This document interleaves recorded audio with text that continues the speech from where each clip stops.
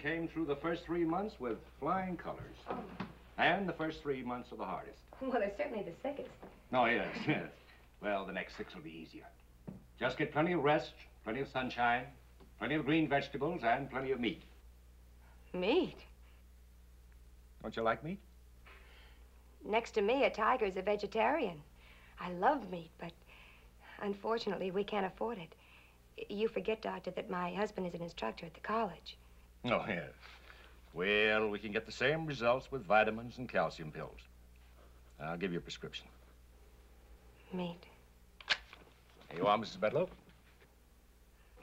Oh, thank you. Thank you, Doctor. See you next month. Yes, goodbye. You can go in now, Mrs. Thomas. Goodbye. Goodbye, Mrs. Bedloe. Goodbye. Goodbye. Everything all right, Connie? Oh, fine. Phyllis, I, I've got a mad desire for some good red meat. Do you think it's one of those cravings that pregnant women get? I think it's one of those cravings that wives of college teachers get. I've had it for years. But you can't have everything. You can't have anything.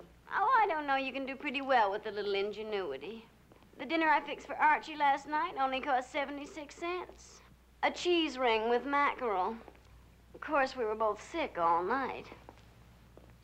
Phyllis, I don't care what you say. You shouldn't have taken that magazine. Yes, but I always take a magazine when I'm in a doctor's office. I start an article, and then the next thing.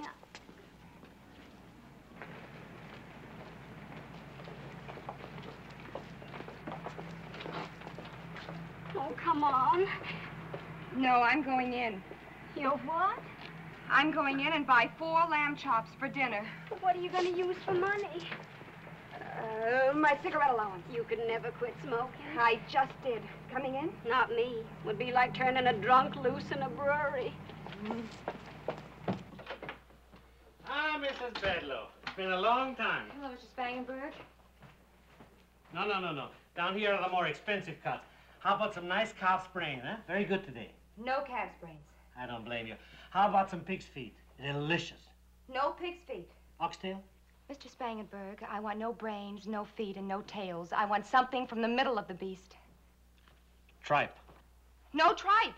I want four lamb chops. Did I hear you good? Four lamb chops.